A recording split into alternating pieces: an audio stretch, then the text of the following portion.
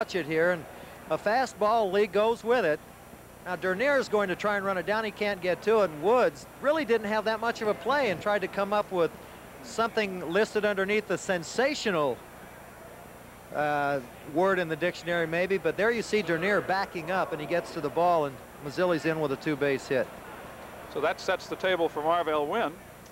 If a Pirate can set the table for $300 here for sister M. Annette Casper of East McKeesport in a Giant Eagle home run sweepstakes inning. I have Cecilio Guante up on the Pirate bullpen. Everybody's taking a turn out there today. Well, that's the first hit for the Bucs since the uh, fourth inning. So Sutcliffe has kind of slammed the door. Now they're trying to jar it open again. He had retired seven men in a row since Marvell Wynne reached on an error in the fifth inning. We're now in the eighth. Sutcliffe and the Cubs are leading the Pirates two to nothing here in Wrigley Field opening day 1985. Mazzilli at second. A chopper back to Sutcliffe. Looked Mazzilli back to second. I thought he might go there for a minute. He gets the out at first. So did I. That got kind of hairy there for a second or two. Mazzilli becomes a very important run here. If the Bucs could get him home, get that one more shot in the ninth inning, everybody that comes up uh, represents a tying run. So you try to get something to happen with that leadoff double. Try to get that run in some way. And put yourself only down a run. It really does change the complexion of the game, and it makes the the, the strategy moves in the ninth inning a little bit more uh, evident between Jim Frey and Pirate manager Chuck Tanner. Let's see if Johnny Ray can knock this run in. Paid attendance, 34,551. Total in the house, 35,293. So a big opening day crowd here. Johnny Ray in the game is 0 for 3. Mazzilli at second, one out. Jay Ray fouls it right underneath our broadcast position in Wrigley Field.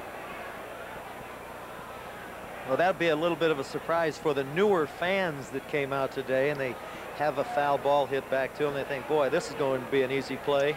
And are they wrong? a day like today, Called strike to Jay Ray. It's one and two. I mentioned when Lanny was here about the control of Rick Sutcliffe. Uh, he may run the string out a little bit on you, but he throws strikes most well, of the time. that's the key. As I said, after the second second inning, he establishes the fact that he's going to get the ball where he wants to most of the time. And it's it's not like a lot of pitchers that'll find out which pitch is working for him that day.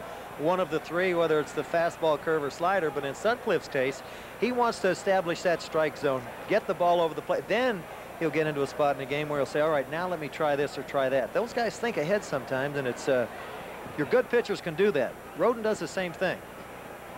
Except I think Rick will do it maybe with two pitches. Sutcliffe tries to do it with a fastball. Davis sets up outside.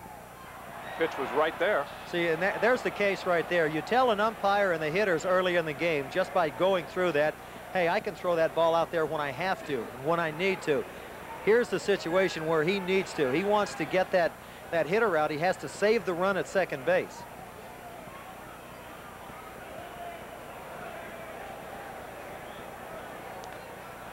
Again, Johnny fouls it back. Maybe the key to this inning, though, was uh, Marvell because his job is to try to get that runner down to third, and he wasn't able to do it. Well, you got Sutcliffe 6-7 on the mound. Uh, Marvell tries to pull a pitch that he can hit to the right side. Didn't get it over Sutcliffe's head. Maybe a smaller pitcher, he might have been able to do it, but uh, you know, you, you obviously the the uh, the way to do it is trying to move that runner over with nobody out. Cubs, by the way, have Smith and Fontenot now throwing in the bullpen, the righty-lefty combination. Of course, Chicago basically doing it last year without a left-hander out of the bullpen in the short situation. Yeah, they didn't have one.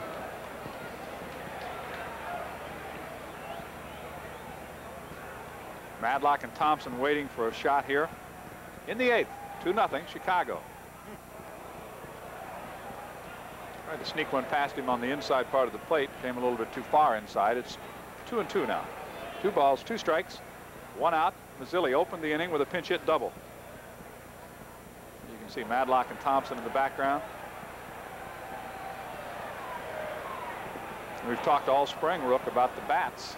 need to start having them pay off, right? That's true, and you get that feeling that they will. Again, though, with a guy like Sutcliffe, he's pitching his kind of game. I don't think he wanted to go three and two on Ray, though. Jay Ray's battling him. I think it's interesting. You notice the kind of pitches that a, a, given pitcher will throw on different counts. One ball and two strikes or two and one. It's it's not so much what he throws, but where he throws it. You see Sutcliffe on the 2-2 threw Johnny Ray the fastball, but he kept it down low. If he was going to hit the ball, 90% chance that he was going to hit it on the ground. Another payoff pitch. Now the Pirates have runners at first and second. And as Bill Madlock heads to the plate, we'll pause five seconds for station identification. It's opening day on the Pittsburgh Pirate Television Network. KDKA TV 2, Pittsburgh. The second walk allowed this afternoon by Sutcliffe. And credit that one to Johnny Ray. The rookie stayed with him. He did. He battled him. He fouled off some good pitches, and uh, Johnny has a good eye. He's a tough man to strike out. If there's any plus to what happened is the fact that they have set up the double play, but you have a four-time batting champion to deal with right now, and it Bill's about due to get things going, and these are the kind of games that uh, managers really have, a, you know, their stomach starts to roll over right here. Madlock hits it hard to center field. Glasses down by Bob Dernier, two outs. Well, that's about all you can do as a hitter is hit it hard. Bill hit it right on the button. So one more chance here in the inning for Sister M. Annette Casper of East McKeesport, a Giant Eagle sweepstakes inning with $300 on the line. Pick up those entry forms or send in your postcards because we're going to be playing Giant Eagle Home Run Sweepstakes all season long. Thompson this afternoon is 0 for 2, or rather 1 for 2. He doubled. And then when the ball bounced away from catcher Jody Davis, he attempted to make it to third and was thrown out. That was a big play in the game. Tony Pena ended up with a base hit later on, but there's a there's a rule in baseball. Don't make the first or last out at third base in an inning, and Jason happened to be the first out.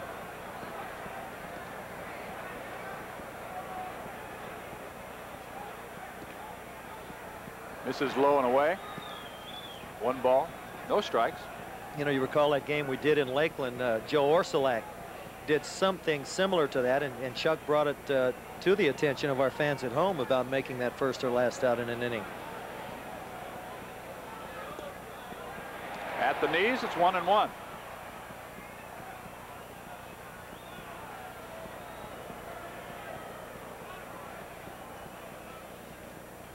Thompson trying to pick up Mazzilli, who's at second. Up the middle, base hit. Here comes Lee turning third, heading for home. The Pirates are on the board in 1985. It's two to one. That's the way, Jason. Boy, when he hits the ball up the middle other way, doesn't try to pull the ball, this is by his own admission, he's a much better hitter. Watch the swing that he takes. Almost one-handed. That was a heck of a pitch by Sutcliffe, and he's been able to keep the ball down. Now, that's an important play that uh, Mazzilli scores, but there, I think, is more important is Johnny Ray hustling around to third. Yeah, he's in position to score on a pass ball, wild pitch. Error.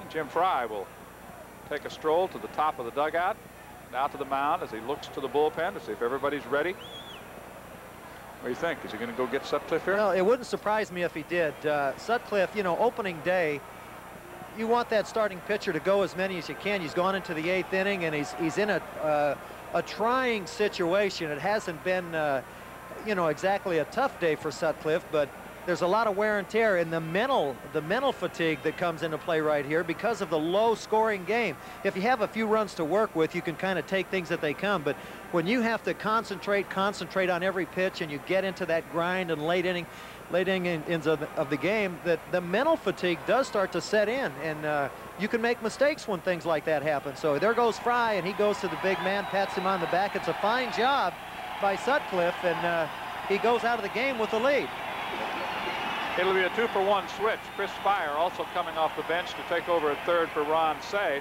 So if you want to flip your card over, you would probably put Spire in the number nine spot in the order and put the new pitcher in Ron Cey's spot in the batting order. We can close the book on Rick Sutcliffe, although the two runners out there are still his responsibility this afternoon. He has given up one run thus far, and the Pirates are trying to tie it up. Sutcliffe striking out three, walking two in eight and two-thirds inning. There is Speier. Now a Cub. I think he's going to play a very important role in this ball club because of his versatility on the infield. I think it's kind of interesting the makeup of the Cubs. You have you have Chris Speier, Richie Hebner, and and uh, Larry Bowa, all on the infield as as extra men. Uh, of course, Bowa lost his job. Veterans that uh, you know normally you'll have maybe a couple of younger players on the bench that'll come off and, the, and you're working their way into a into a starting role. But with Dunston beating Larry Bowa out, the role is kind of reversed. And when you have a guy like uh, Speier to come in here, you have Hebner. All of our fans remember Richie, and and of course Larry Bowa. A lot of experience coming off the bench, and I think over the long haul it pays off. So Lee Smith will be the new pitcher. Lee, 28 years old, good size, 6'6", 225.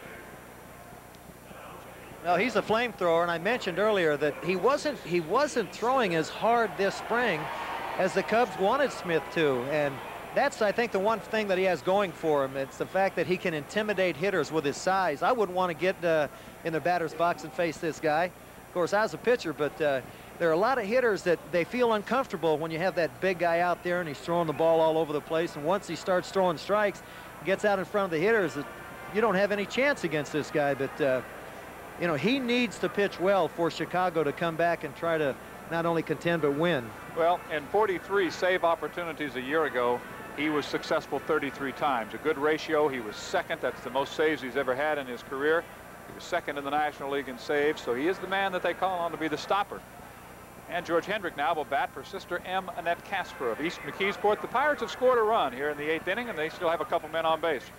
Rafael Belliard comes off the bench to run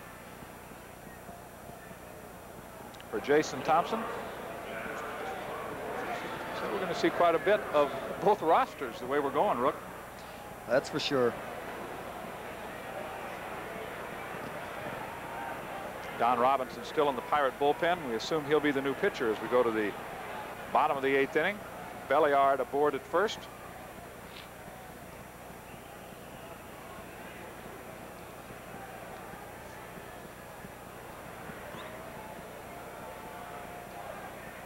Smith pitching to Hendrick with runners at the corners for the Pirates. Two to one. The Bucs have scored a run. Hendrick takes a strike.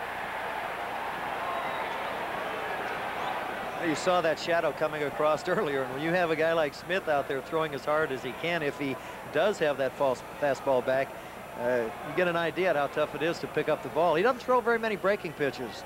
He comes with the express. Strike two. No balls, two strikes on George Hendrick. Johnny Ray at third, Rafael Belliard at first, a run in on Jason Thompson's base hit. Thompson, two for three this afternoon with an RBI for the Bucs.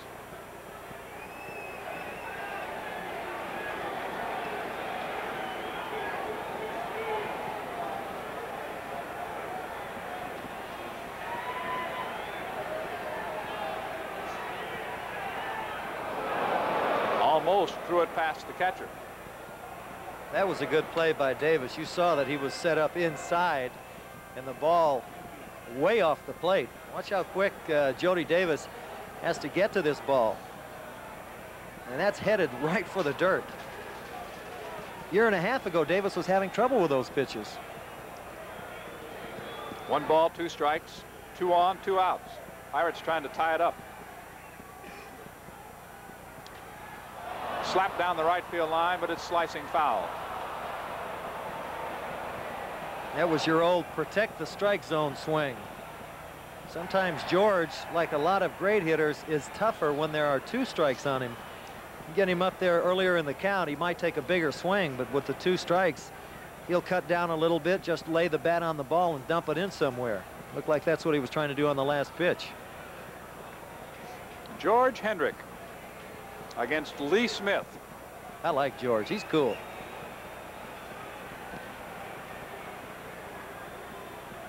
Ray and Belliard the runners.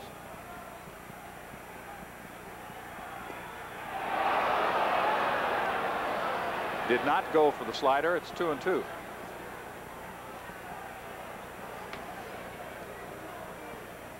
Hendrick in the game is 0 for 3.